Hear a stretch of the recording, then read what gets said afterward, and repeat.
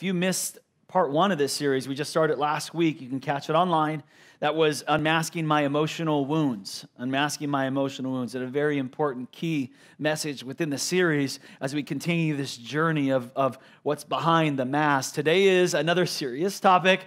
It is, and it's in and to kick it off again, let me go to our our verse, our theme verse for the series, Second Corinthians chapter 4, verse 2, that basically says it's a declaration that I want us to kind of make to get together with Paul. He says, We refuse to wear masks. That's it. I'm done with it. I'm tired of wearing it. I'm tired of covering it up. I just refuse to live that way anymore. I'm not going to buy into the lie like the mask is better. It's not. I refuse to cover it up any longer. No more, no more is going to happen. And I refuse to play games. We don't maneuver and manipulate behind the scenes. Rather, here's what we need to do we need to keep everything we do and say out in the open. He says the whole truth on display, which, which some of us do. Some of us do that, but, but some don't. And, and can I just tell you, I'll be real honest, man. This is the reason why I want to do this series because it's very easy to hide in church. I mean, religious people are really good at, at wearing that mask. Christians are really good. I'm a Christian, I speak to myself here, okay? We're really good at wearing the mask. Because why? Because we feel like there's, there's this tremendous pressure for some Christians to be perfect, to have it all together, to, to have the answers or to at least to, to, to make it look like we there's this pressure on us and and who knows i don't know if it was where the pressure is coming from man. We don't have a religious environment here but but we tend to just buy into this lie that we need to be perfect or at least we need to act like we have it going on. So we tend to mask things and and and, and cover them up. And today we're going to talk about what i'm calling the dark side the dark side. How many Star Wars fans in here? Come on, who's my fellow nerds? Just be admit it. Let's go. Come on. That, I love it. Uh, Star Wars is awesome. I don't care what you guys say. There's only a few of you. Man, we're going to have to convert you to the dark. No, I'm kidding. But, but this is the dark side is, is, is something I believe that every single one of us has. There is every one of us, listen, every one of us has an area in our life that we wish wasn't there. Every one of us has an area of our life that, that we are, we, we are trying very, some of us are trying very, very hard to keep it covered up. And it's, and it's just that it's just that area that, that we wish no one would ever find out. And, and uh, some of us were afraid. There's a lot of fear associated with the dark side. There is, because it's the fear of exposure. It's the fear of what if people find this out? It's the fear of like, man, if, if they find this out, then man, I'm not gonna get the help. I'm not gonna get help if I find, this out. I'm not gonna, I'm gonna get fired. You know, if someone finds out what I'm what I'm doing here behind the scenes, I'm not gonna get help. I'm gonna get, I'm gonna lose my family. If, if someone knows really what I'm what I'm covering up here, I'm not gonna, I'm not gonna get saved. I'm not gonna get rescued here. I'm just, I'm gonna lose respect. I'm gonna lose status or lose position. I mean, it's just bad news. If people knew this, whatever that area is today. And I just want to give you some hope today, you guys, that we don't serve a God that just wants to kind of expose you. That just want, we don't, no, no. God is not here today pointing an accusing finger at anybody. He, he's not. He doesn't, he doesn't stand up here pointing the finger. He, he, we serve a God who, who, who actually does not, like, he came, God, God actually came to earth not to point a finger at you, not because he's mad at you, not to, you know, get in, get you in court and slam the gavel down on you and tell you how guilty you are. No, he came on a rescue plan to set you free. Okay, so he's not. He, God is not in, not the one who's condemning and pointing a finger at you. He is someone who's pointing a way towards freedom. Okay, there's freedom in the name of Jesus. This is going to be a difficult message, though. It is. And I would again ask you in this series to, to be brave enough to just go on the journey with me, you know, and don't check out and don't put up the walls and, and let's just let's just see what God's word has. And this is a, it is a difficult message. I'm just going to tell you up front. Okay, it was even for Jesus even said in John 3 verse 20. He says this, everyone who does evil hates the light. Like when you're doing things you know you shouldn't do, this is the last kind of message you want to hear. You're like, you don't want the light. You know what I'm saying? You're like, no, turn the light off. It just I don't want to go there, Pastor. I'm not ready to go there, but I believe God has you here for a purpose. That, that maybe, maybe it is time. Maybe, just maybe it is time to get your freedom. Maybe it is time to take that mask off and to let God do what He's been wanting to do for a long time in your life, in your heart. And, and I believe some of us are just, de- we're desperately trying to hide this thing. We're spending a lot of energy in the process of just masking it instead of energy to be free of it. And this true, this is true, this whole mask process is true of all sin, of all temptation, all every every area of dark side, every dark side, which by the way, again, every one of us has a dark side. I want to say myself included. Like we like we have issues, okay? Every single one of us has issues. There ain't no one here that is perfect. Not a single one of us, okay? We're all in the same hospital here, receiving healing from the same issues. Can I get an amen? Okay? So that's that's just just know that. But I mean, can I I don't want to single out something. This message isn't about one particular temptation or one particular you know dark side, but I I, I just I feel like I do. I need I need to mention about sexual sin because if there's an area that is so that is secret that, that is that is shrouded in secrecy and, and behind the mask is is this area of sexual sin and and if you have um, you know this is this is this is a message for sixth grade and up. Let me say it that way. Your sixth graders here, I want them here. If they're under sixth grade, it's up to you, mom or dad, because we're gonna we're gonna talk about some some stuff here today. That we, we are because I, I feel like we need to. I feel like we need to address some things, you guys. Um, the enemy has succeeded in making sexual sin so much more available today. What used to take like a drive to the magazine rack or to the video store, now you get at the click of a button. Now you get it, it goes with you everywhere on the phone. It, it is just, he has succeeded in making it over the last 20 years, just made it so readily available. There, there is statistically, there is 40 million Americans. There's only 300 million, okay? America. There, are 40 million of them are regular visitors to pornography. Regular visitors to pornography. The, the porn industry, the revenue of the porn industry is, is actually the, the Major League Baseball, NFL, and NBA, it, it makes more money combined than those three agencies. So this is this is a huge enterprise. It's a big deal, you guys. Parents, listen to this statistic. 90%. That's 9 out of 10 in America. They say of 8 to 16 year olds are viewing pornography online. Most of which obviously the parents have no clue it's happening. One third of, of pornographic viewers online are women.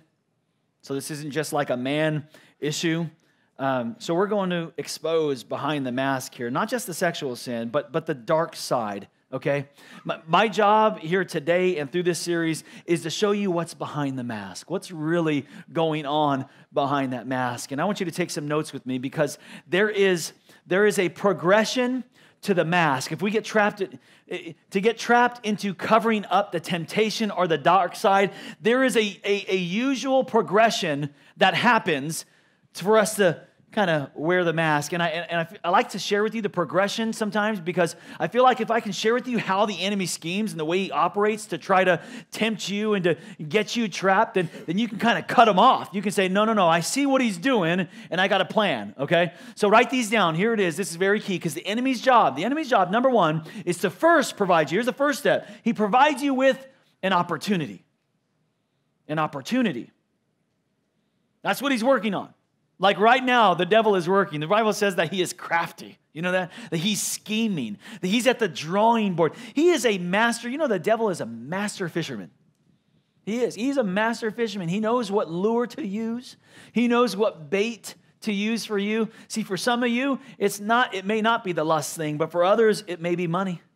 It may be, it, it may be something else. It may be, it may be a different addiction, a different hobby, something that you're, you're just allowing control your life that you're covering up and has way too much control and ownership, it's actually calling the shots. Okay, the enemy knows what bait to use, and he's he's drawing it up. You think that that's random? Like, oh man, it just kind of these things keep happening. I keep man, I keep getting tempted, and this keeps coming up into my life. That's not random. That's the enemy schemes. He's scheming. Look what the Bible says in Genesis 4 7. It says, Sin is crouching where? At your door. So it's right there all the time. And you know this. We know this is true. It's right there. We really have the opportunity. Here it is. And the desi- it desires to have you, but you must master it. So the first thing I want you to know is don't be naive. Don't be naive. Don't, don't think for a second longer that this message is not for you. All right, sir, ma'am? Do, don't think that you're above this, that this message is not for you, like, like you can check out on me now, because this relates to every single one of us. That there is a dark side, there is an enemy who is setting a trap for you, even as we speak, he is setting the bait. Okay? So don't be naive. Don't act like it's not happening, okay? That's part of the mask. And parents, can I say this? Parents, stop being naive like your kid's the one out of the 10. All right? Just, it's, it's, it's out there. Don't be, don't be naive to this, you guys. The enemy is creating opportunities, and he's creating even more in this generation. And it's his job to do it. That's what he's, and he's, and by the way, I can't stop that. I can't stop the enemy from the, the you know, giving the opportunity. And by the way, that's not even the goal. The goal is not to stop the opportunity. The goal is to withstand the evil schemes of the enemy in the middle of the fight. It's actually to have a plan when it does happen. That's the goal. Is how am I going to respond when the enemy is coming my way? That's the that's the goal. So the first first step is we have an opportunity. And then usually the entry point when an opportunity arises, most of all sin takes place in the eyes. It starts there. Write it down this way. We take a look. You take a look Oh, I see that. I see that. You just you just look and we we we let it come into the windows of our soul. That's what your eyes are. I truly believe that if if we if we could guard the eye gate, then, then I really believe that we could we could just get rid of over 90% of the sin that we commit. That if you were just to if you were just to watch what you're looking at and be careful to guard your eyes, man, this, this is where most of the sin comes through. This is where the enemy gets you, it's through your eyes. It's, the, it's one of the gates to your soul. There was this one smart guy, he told the, he, he told the pastor, um, Pastor, I, I, that it sounds, you're right, you know, don't look, okay? We can't, we, we take a look, but man, in the world we're living in today, like, Pastor, that's impossible. It is everywhere. Everywhere I go, I would have to be blindfolded to, to, to obey this, to not take a look. And the pastor said, It's not the first look that gets you, it's every look after that. See, it's a second look that'll grab you.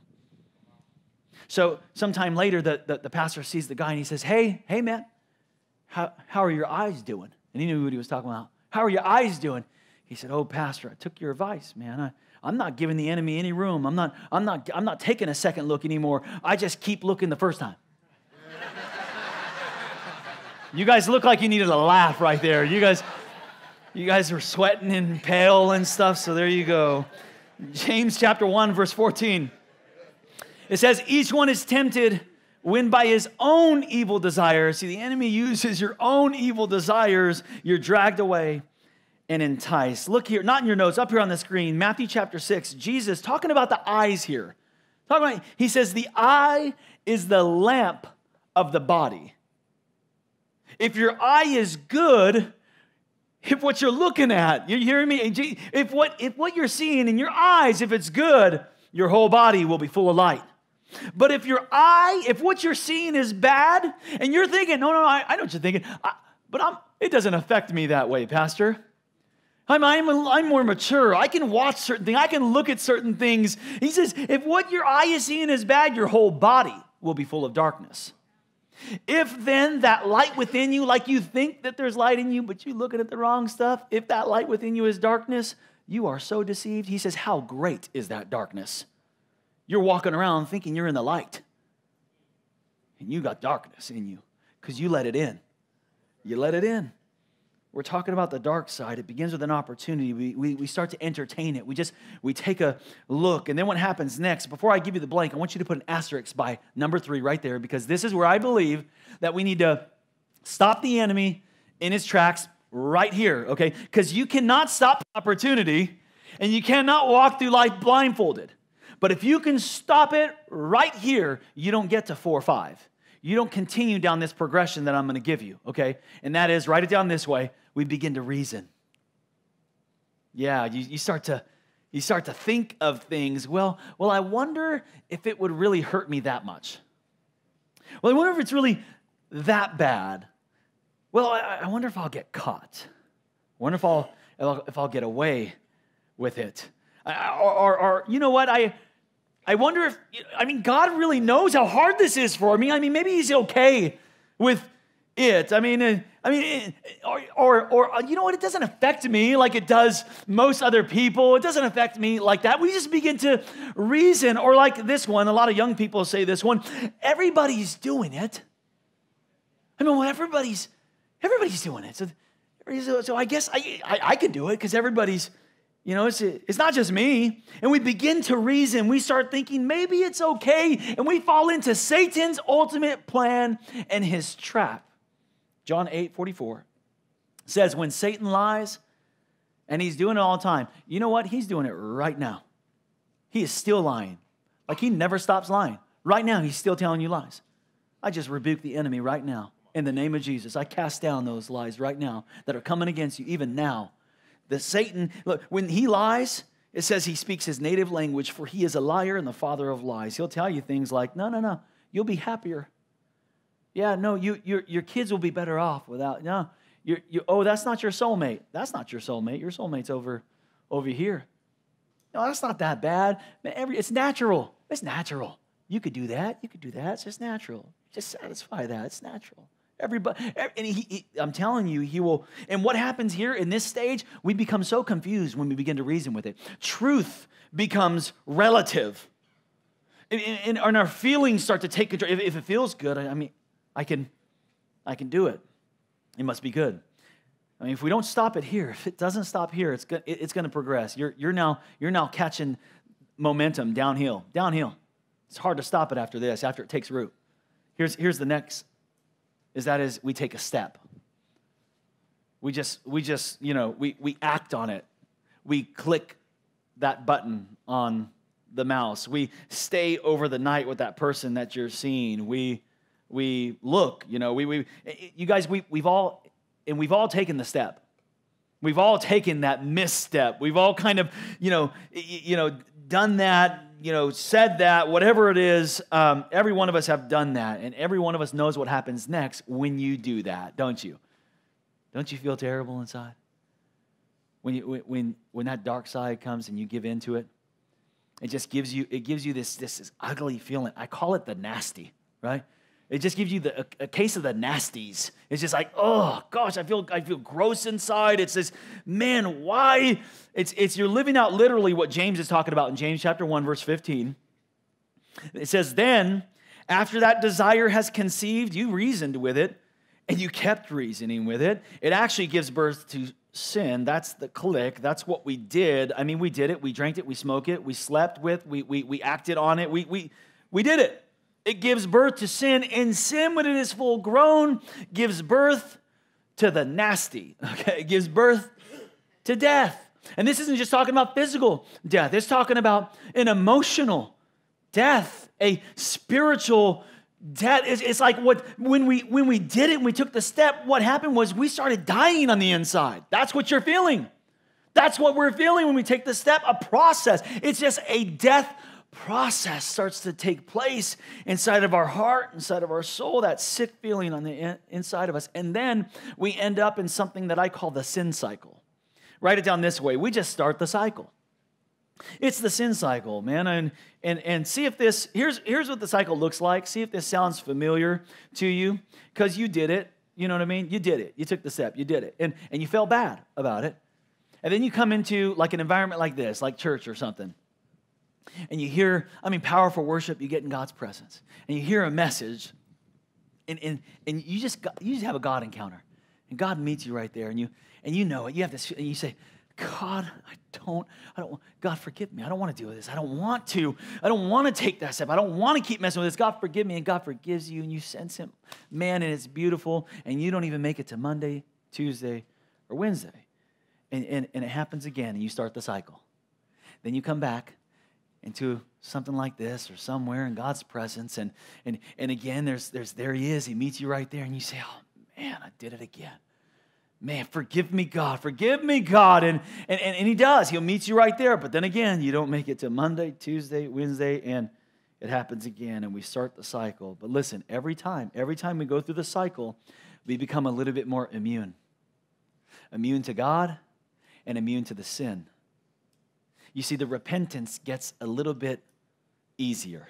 It gets the repentance gets a little bit softer every time we start the cycle. And the sin gets a little bit easier.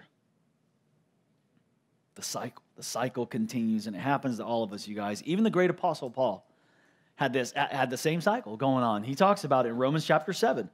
He says, Paul, this two thirds of the New Testament, Apostle Paul, okay?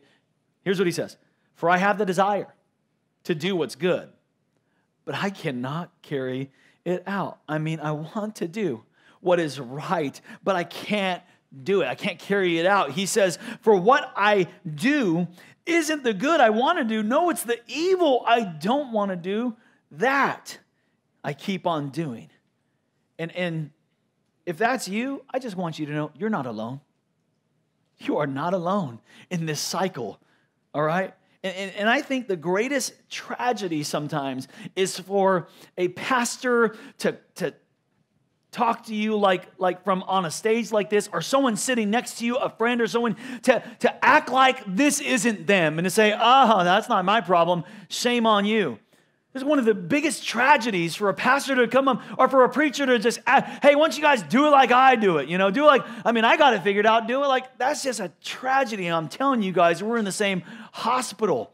The enemy is crafty and scheming against every single one of us. None of us are exempt from this battle of the dark side that continues to try to trap us up. And man, I tell you, I just, I've dreamt of a church and I'm seeing it now of a church that is that's not afraid to just take off the mask and and we're acting like we got it going on and really we have this area we struggle with this dark side it really it, I dreamt of a place where really there's not a fear of there's no fear of exposure instead there's a guarantee of freedom and that's, that's what you need to realize today that there's not really what you're battling with here. What the enemy is convinced you of is that there is a fear of of exposure, but really there's a guarantee of freedom when you step out and take off the mask. And I just want you to read, if you'll turn the page over here in your notes, up here on the screens as well. I want you to read this first phrase of this scripture, 1 John chapter 5. Everybody read it aloud, full voices. One, two, three. God is light. In him there is no darkness at all. God is light. See, that's God, God does not want to, He's not here to hurt you. God just wants to shine some light on you. God just wants to bring some light into our lives that sometimes can get so dark. He really just wants to bring light. He goes on to say that if we claim to be without sin, in other words, if we say, This doesn't affect me, and we put on that mask, he says we're just deceiving ourselves and the truth isn't in us. But if we confess our sins, if we remove the masks, he says, he is faithful and just and will forgive us our sins and purify us from all unrighteousness. But again, if we put back on that mask, if we claim we have not sinned, I'm okay. Yeah, no, no. Praise God. I'm with you, Pastor. Yeah. We make him, him, God, out to be a liar. And his word has no place in our lives. So I would say to you this the worst, I would say that the worst thing is not the sin. The worst thing you can do is not the sin. The worst thing you can do is play the game and put on the mask. Are you hearing me today? See, God knows that you have a dark side. God knows you have issues. He knows you have sin. That's not actually the worst thing you can do. You know why? Because He already made a way for you to be free, clean, and redeemed from it. That's not the worst thing you can do. The worst thing you can actually do is cover it up and pretend it's not there and not receive the redemption that was paid for you. That's the worst thing you can do is play the game, mask it up, and pretend that it's not, it's not there. I want to give you some things today. I want to give you some very practical things that you can do. If you're tired of that nasty feeling, if you're tired of wearing the mask, if you're tired of playing the game, if you're just tired of all that and you want to experience true freedom once and for all, let me give you some practical advice from the Word of God today on how, look, now that you take off the mask, let's do some things. Here's number one. And this first one, by the way, before you put it up on the screen, this first one can save your life. It is a word from God, a prophetic word for some of you today. This first one, it's just one word, okay? Here it is. Put it up run. okay. Did someone did you hear that? Someone prophetically hear that today? Run! Get out of there. Just just don't don't entertain it. Don't don't don't play with it. Don't stare at it. Don't look at it. Just get out of there. Run, Forrest, run. Okay? Flee. Get out of there. That's what the Bible says in 2 Timothy 2 22. Flee. The, the New Living Translation says run. That's what that means. Run the evil desires of your youth and pursue something else. Okay, check it out. Listen, that you're not just supposed to run from the temptation. Don't just run from the sin, or else you'll be running from sin your whole life. You'll be running from things and the dark side your whole life. No, no, no. Don't just run from it, but you need to replace it. Okay? So not only run, don't run just from sin, but start to run towards something else. He says, run towards, pursue righteousness, run towards faith, start running towards love, pursue God. We need to get out as fast as you can. Some of you in here today, are you hearing me? Some of you need to run. I'm telling you, I, I, as your pastor who loves you, I just want to belabor this just a moment, okay? That if you are today, you find yourself in a compromising situation, if today you find yourself in a, in, in a situation where it has gone too far, you've entertained that conversation too long, that, that those batting eyes or that gentle touch or, or you should have ended that conversation a long time ago and it kept going and it's actually it's, it's actually grown to, to different places. If you've just if you just entertain some things a bit too much please run. Just get out of there. Um, delete the number you know block the number. Change jobs if you have to. Your soul is more important to god than your career then, then your family is more important than the money you could be making. Just run. Get out of there and get out as fast as you can. Um, some of you maybe need to talk to your spouse today. Some of you just may, it, I know it sounds, it's, it's, it's hard, but part of this running and pursuing the right, the right things and the right actions would be to actually open up. And, and, and the enemy will tell you, no, no, no, don't do that. But, but it's going to bring you so much freedom. Some of you kids are in here today, and some of you kids need to actually um, open up and talk to your parents. All right, some of you, some of you kids need to actually just you've you've entertained it a bit too much. It's gone a bit too far. And and and you need to you need to let let your parents know they love you. And your soul is more important to God, kids. Your soul is more important to God. And I hope you're hearing that from a pastor, your pastor who loves you, and, and, and, and to know that your God loves you too. Run. Get at that's step number one. That's just practical. Run. Here's number two, and that is be accountable. Be accountable. You have to initiate this. You have to find some people in your life who know what you're going through, who really know you and what you're going through. Listen, if you are the only person who knows your secrets, if you're the only person who knows your dark side, you are in big trouble, dude.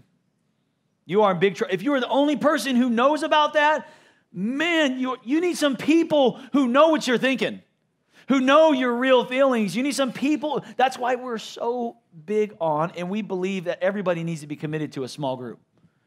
Okay, because you, you, I wouldn't even, I, you can't open up and let every, like 100, 200 people know. I would not encourage that, okay?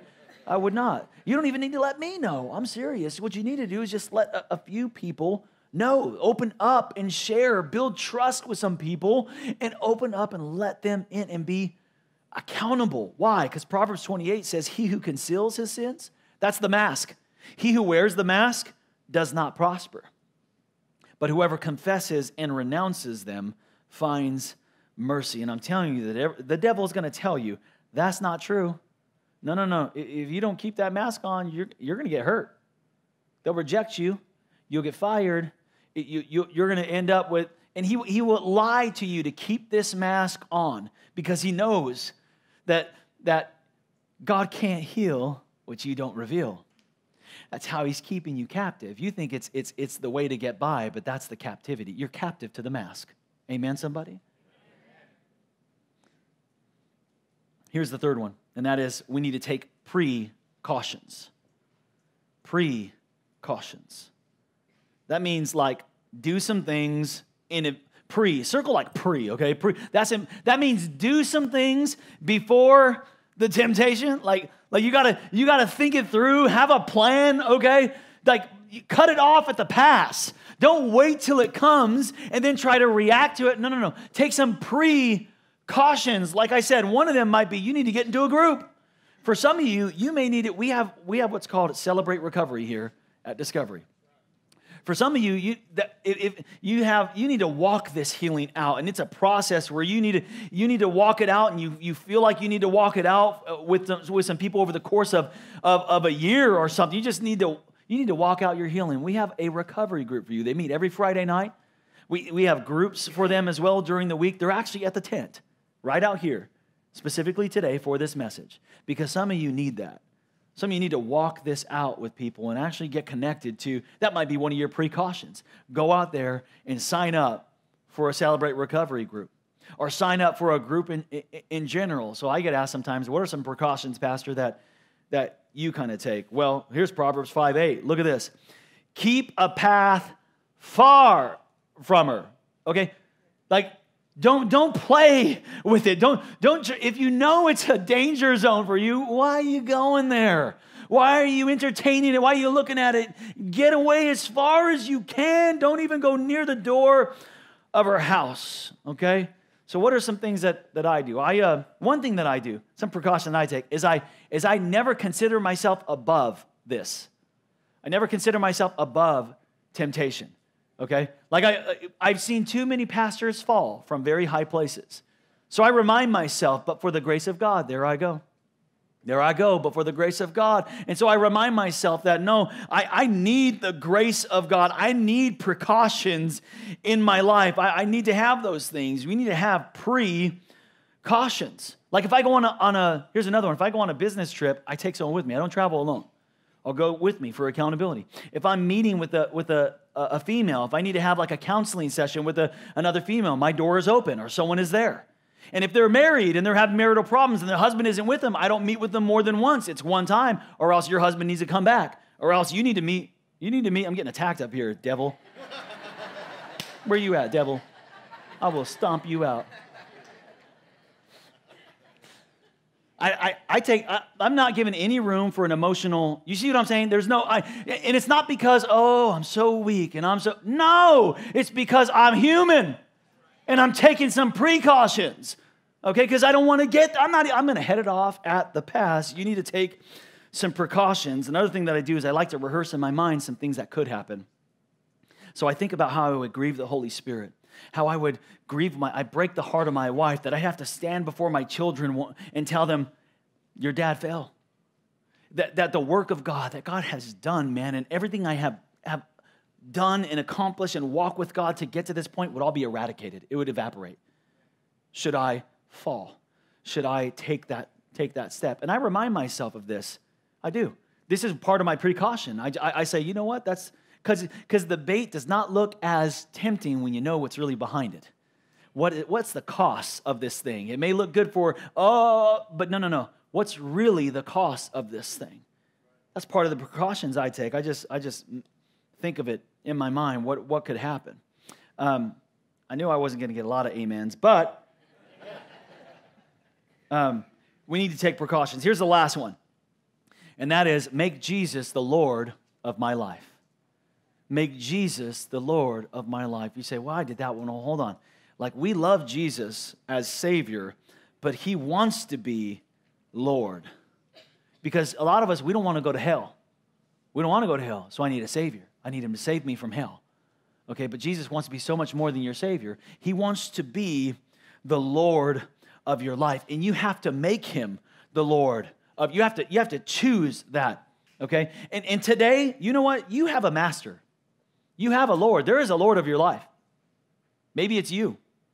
Maybe it is your addiction, or maybe it is that dark side. There, there is something that is a there is something that has lordship over your life. It might be money, might be your stuff, might be whatever is in front of you. You have a master. The Bible says this in Romans 6. Therefore, do not let sin reign in your mortal body, so that you obey its evil desires. And do not offer the parts of your body to sin as instruments of wickedness, but rather offer yourselves to God. Make him Lord for sin shall not be your Lord, your master. Um, the enemy would have us believe, and, would, and is even lying right now, it would have you believe that, the ma- that you need to wear the mask. The mask is what's protecting you. The mask is what's, what's keeping you protected. You need to be behind that.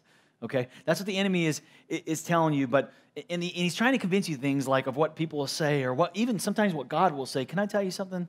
Like, like you don't, you, what you need to do is take biblical precedent. What does the Bible say? That's what truth is. Not what the enemy is whispering in your ear, even right now, but what does the Word of God say?